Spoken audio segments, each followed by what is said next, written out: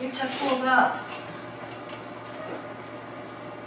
고베, 아, 시코쿠, 오사카, 고베였어요. 투어 그렇게 있었는데, 저희 그 스태프로 간 형제님이 영상도 만들고 다 이렇게 준비를 해주셨는데, 프로젝터를 제가 계속 못 구했어요. 그래서 아마 2차 투어까지 마치고 나면 2차와 또 1차 함께 해서 맞물려서 3만 장의 사진을 함께 보시면서 네.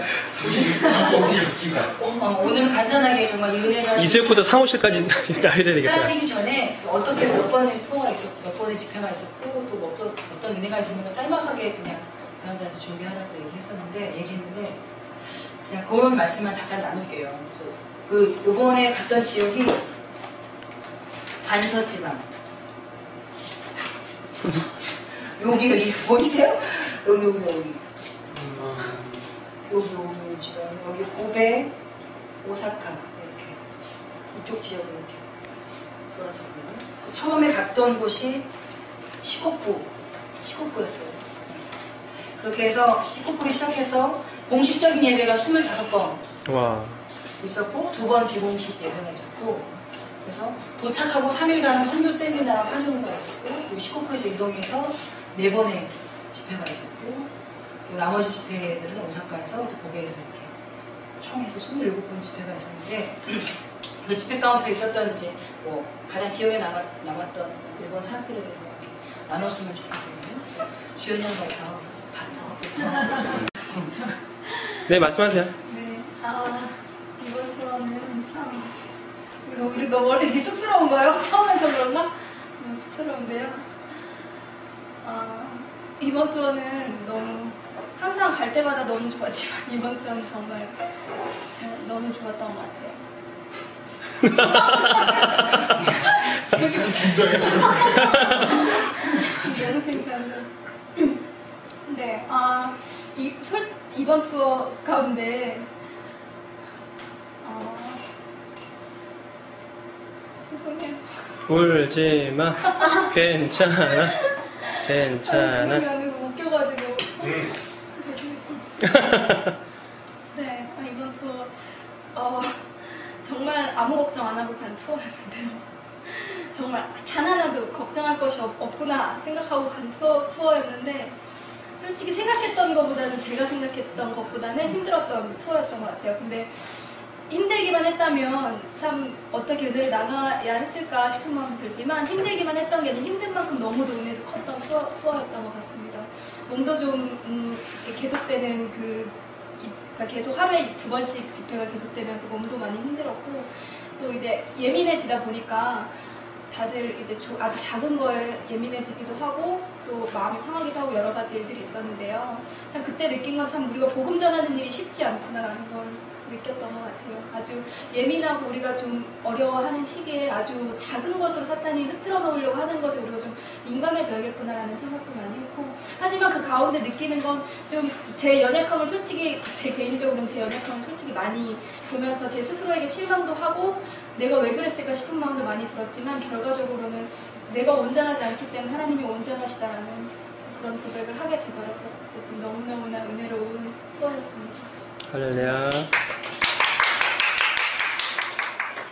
그 되도록이면 그 마지막 날 출국하기 마지막 날 전에 그 함께 교제했던 분이 계신데요. 그 사진 작가분 케 케이타 케이타 분이신데 그분이 어, 하나님을 믿고 음, 믿기까지도 참 많은 간증이 있지만 믿고 나서도 직장을 잃으면서까지도 기쁨으로 하나님을 믿으면서 그렇게 사는 그분의 간증이 참 네, 그분이 가끔 가끔 많이 생각나요.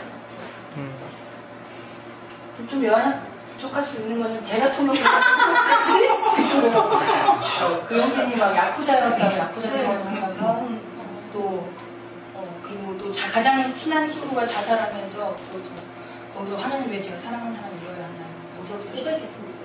고배신데요. 그렇죠? 제가 고배신데 얘기했죠. 아무튼 여러 가지 수많은 일을 겪으면서 하나님께로 돌아왔던 반증을 밥 먹으면서 음. 얘기를 하면서 가장 너무 은혜로워서. 그래서 그 얘기를 들으면서 또 옹기장이 저희도 또 자기 아픈 간절히 또 같이 하면서 음. 존재야 관계 없지만 같이 나누, 나눴던 시간 저도 기억나요. 또 어릴 때 없어요? 다, 다 기억이 나죠. 일본에 계신 배척당하면서까지 믿, 믿을 수밖에 없는 그들의 좀 음, 그런 마음들이 많이 항상 간증을 많이 듣고 싶긴 한데 말이 짧아서 좀 안타깝고요. 그리고 집회 집회마다 그 승, 승희 언니가 쓰러졌었잖아요. 그, 그 인해서 그, 그 일로 인해 사실은 저는 개인적으로는 엄청 힘들었는데요. 지나고 나서 하나님이 예배 가운데 주시는 마음이 참 평안이더라고요. 저는 세상이 줄수 있는 참 평안이더라고요. 그때도 많이 감사할 수 있는 했어요. 오늘 또 두리뭉실했나요? 어디로 찍어드릴까요? 반명 한 판 찍어드릴게요, 반명 한 판. 네, 강명함. 저는 이번에 그 신입단원이어서 막내고 그리고 첫 일본도 처음 간 거였고 일본 투어도 처음 간 거여서 어, 말 그대로 호기심도 있었고 기대감도 있었고 걱정은 월- 워낙 성격이 별로 그렇게 걱정을 많이 하는 성격은 아니라 걱정은 전혀 별로 하나 하고 가지 않았었는데 가자마자 도착해서 뭐 단복이라든지 이런 거 하면서 조금 많은 것들이 아 내가 준비를 좀 더 했었어야 됐구나 하는 그런 분들 그런 부분들이 좀 많이 느껴져서 조금 처음에는 많이 마음적으로는 좀 힘들었었는데 어, 이제 가면서 차근차근 지나가면서 하나님께서 채워주신 그 은혜하고 어, 예배 드리면서 하나님께서 회복시켜 주셔서 굉장히 은혜를 많이 받고 온 투어였던 것 같습니다. 그리고 또 하나님이 살아계신다, 하나님이 함께하신다라는 것들 우리가 그냥 살면서 많이 느끼고 이렇게 아, 미- 밀접하게 그렇게 생각은 하지만 이 투어만큼 하나님이 아, 내 삶에 아니면 내가 이렇게 가깝게 느낄 수 있었을까라는 내 평생의 음, 그런 최초 최초의 하나님이 함께 하신다, 살아 계신다 라는 것들을 정말 가깝게 느낄 수 있었던 좀 그런 투어였던 것 같습니다. 어, 그래서 좀 살- 남 다른 것 같아요 저는. 그러니까 뭐 선배님들은 많이 이제 갔다 오신 분들도 있고 그 다음에 뭐 그 일본 뭐 고베 쪽에 처음 가신 분도 있고 이랬지만 어쨌든 저는 되게 평생 잊지 못할 그런 투어였던 것 같고요. 어, 가서 뭐 이것저것 되게 많은 일들이 있었지만 교회 가운데 이제 매, 매번 매번 집회할 때마다 가장 많이 느꼈던 건 뭐냐면 저희가 처음에 가서 예수 짊어지고 예수 우리를 짊어지고 짊어 지고 네. 짊어지고를 어 이제 하면서 영상을 찍었는데 처음에 이제 위원회 분들이 그 영상이 조금 너무 거덕하지 않느냐 그런 그런 좀 그런 의견들이 조금 있으시고 메시지가 너무 뭐랄까 일본 분들에게 전해지기는 제가 이제 듣기로는 너무 이제 직설 직설적이어서 너무 조금 강하지 않을까 그런 메시지가 강하지 않을까 이런 그 걱정들이 조금 있으셨다고 들었는데 어, 저도 이제 그 얘기 들으면서 아, 일본 사람들 정서에 괜찮을까라는 그런 좀 어, 사람의 걱정이 좀 많이 있었어요. 있었는데 매번 집회할, 때, 집회할 때마다 그딱 간증 끝나고 이렇게 전주가 나오고 영상이 딱 틀어지고 첫 소절 아니면 두 번째 소절까지 가면은 눈물을 벌써 흘리시는 분들이 그 앞에 이제 보이, 보이기 시작하는 거예요. 그러면서 끝날 때쯤 되면은 정말 많은 분들이 내가 보기에도 감정에 대해 감정에 그 해서 눈물을 흘리는 것이 아니라 아, 이 복음으로 인해서 눈물을 흘리고 있구나.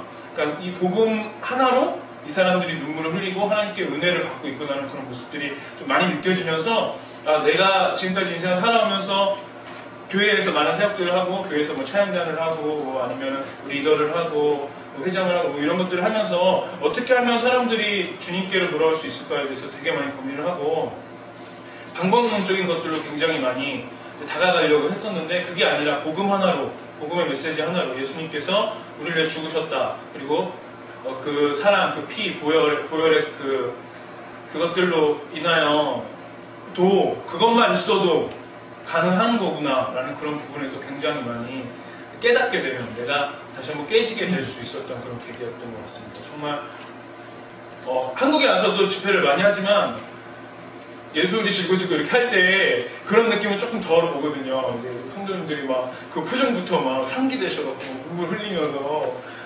똑같은 포맷이잖아요. 영상도 나오고 우리가 노래도 같이 하고 이런 똑같은 포맷인데 일본 분들의 그 약간 순수함, 그 믿음의 순수함, 정말 그 1%도 안 되는 그 믿음에서 나오는 그, 그 강함, 그 강인함, 그리고 또, 그리고 그 어려움 속에서 나오는 그 순수함이 정말 마음속에 많이 와닿아서 저는 개인적으로 정말 일본에 대해서 다시 한번 생각하고